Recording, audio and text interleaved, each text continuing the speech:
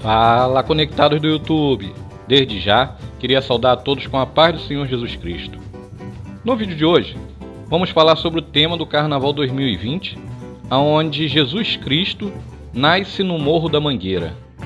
Mas antes, roda a vinheta abençoada do canal aí.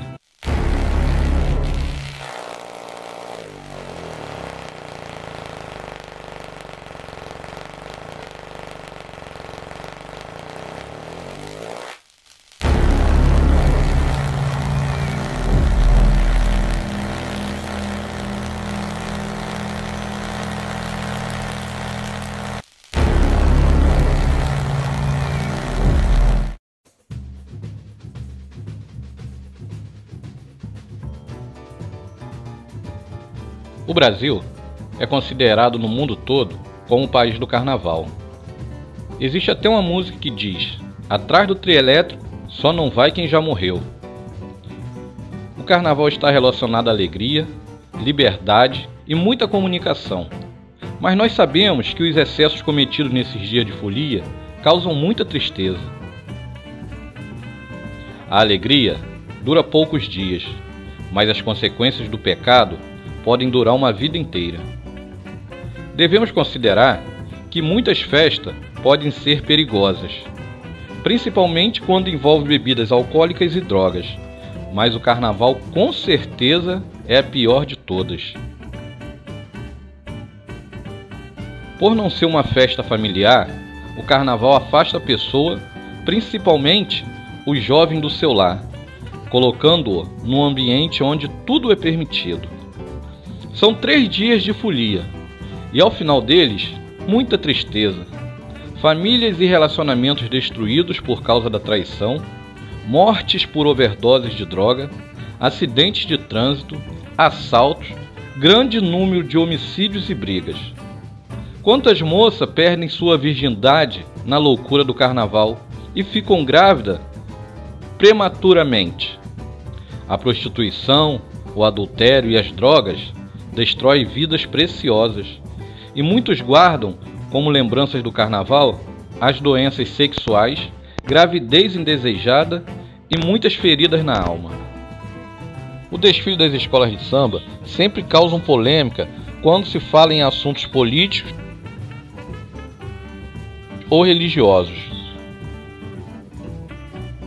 O carnaval de 2020 não será diferente e promete ser um dos mais militantes dos últimos anos. Várias escolas já informaram que irão causar na avenida, seja na Marquês de Sapucaí, no Rio de Janeiro, ou no Anhembi, em São Paulo.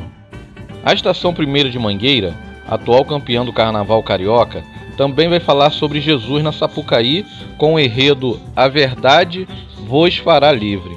A escola fará uma alusão ao versículo bíblico de João 8,32, que virou praticamente um lema do governo de Jair Bolsonaro. O samba de enredo será uma crítica direta ao avanço do conservadorismo no Brasil. Religião e carnaval combinam. Combinam sempre. E aí você tá levando a vida de Cristo pra Sapucaí. Isso, é um enredo biográfico que olha para a vida de Cristo, assim como o cinema olhou, assim como o teatro olha, assim como a TV olha. O que aconteceria com Cristo se ele viesse à Terra novamente para viver do mesmo jeito, para defender as mesmas ideias? O que ele encontraria? Então esse Cristo do Morro da Mangueira, ele é um Cristo cria do morro, né? A gente vislumbra que ele nasceu preto, pobre, nas ladeiras do Morro da Mangueira, com a cara da comunidade da Mangueira. Será que as pessoas estão preparadas para enxergar Cristo nas pessoas que têm a cara do morro? A Verde Rosa se apresenta como a estação primeira de Nazaré, com o enredo A Verdade vos fará livre. O enredo vai tratar da volta de Jesus Cristo à Terra e vai se identificar com os mais pobres, como os moradores de favela que sofrem com todo tipo de preconceito. A letra do samba foi criada por Manu da Cuíca e Luiz Carlos Máximo e vai direto ao ponto. Favela, pega a visão. Não tem futuro sem partilha, nem Messias de arma na mão. A cantora Alcione será Maria, mãe de Jesus. O músico Nelson Sargento será José, o pai de Jesus.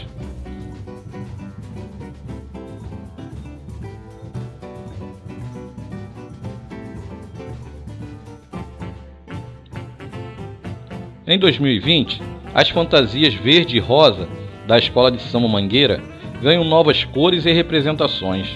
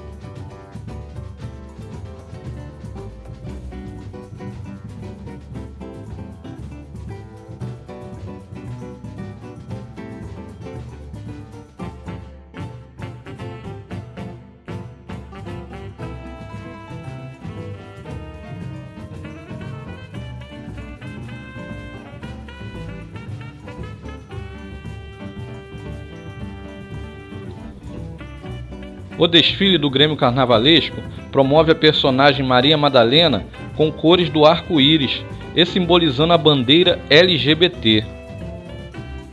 No desfile, Jesus terá várias faces. O ator Humberto Carrão será uma das faces de Jesus no desfile. Mas o que chamou mais atenção foi a participação do pastor Henrique Vieira, da Igreja Batista do Caminho, que fica na Gávea, zona sul do Rio de Janeiro. O pastor também será uma das faces de Jesus.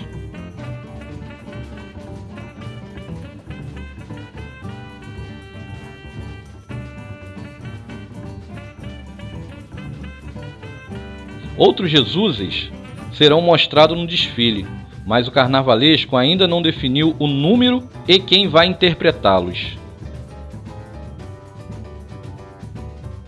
A figura de Nossa Senhora das Dores aparece de preto pelo luto pela violência brasileira e com a bandeira nas cores preta e rosa, com o Estado assassino, escrito no lugar de ordem e progresso.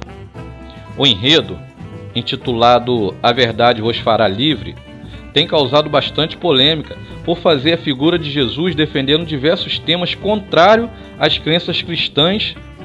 O carnaval é uma festa imprópria para todos, mas principalmente para os cristãos.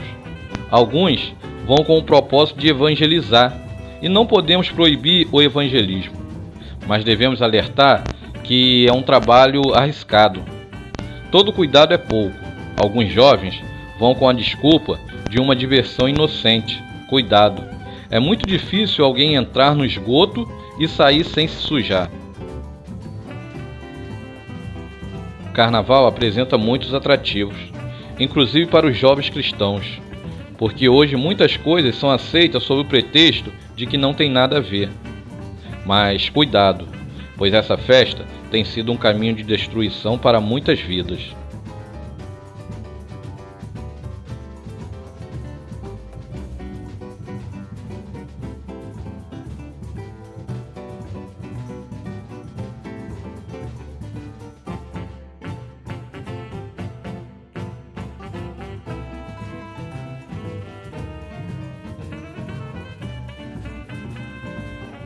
Com certeza esse carnaval de 2020 vai agradar muita gente, mas pelo que será mostrado na avenida, vai desagradar muitos.